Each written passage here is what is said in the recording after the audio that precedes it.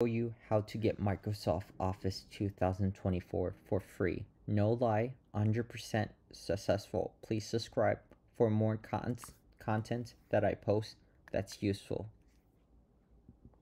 Step 1. You must delete all Microsoft copy off your device.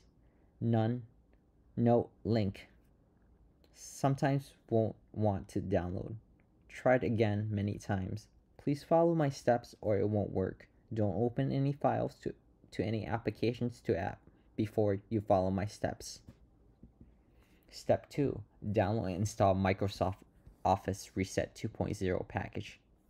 Links in the description if you're too lazy to type it out.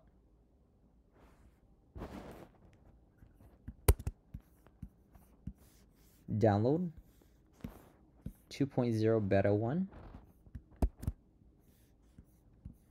Step 3.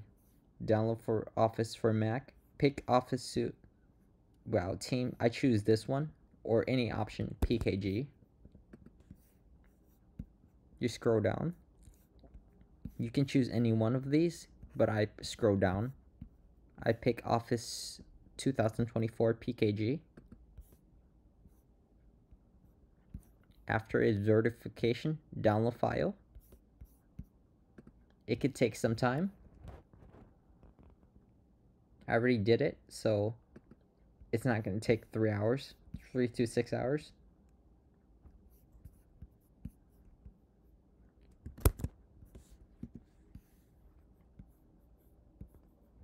Open up Microsoft Office Reset. Click Continue, Continue, Agree, and then you click Next later on and it resets the license for the Microsoft on your device. I click disagree because I already did this step. Once you open up your Microsoft Office, mine is already done, but it's going to show a login page. You have to log in with your Microsoft account or create one on the browser because you cannot create it on the on this Microsoft Word. It didn't work for me. After you log in and sign in successfully, it would appear like this.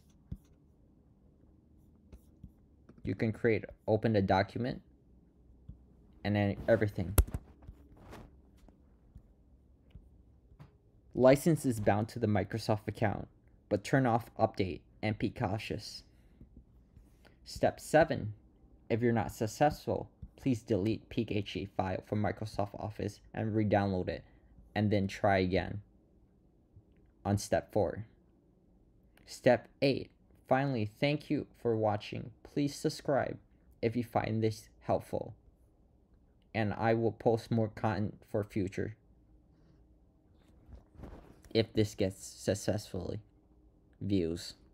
Thank you.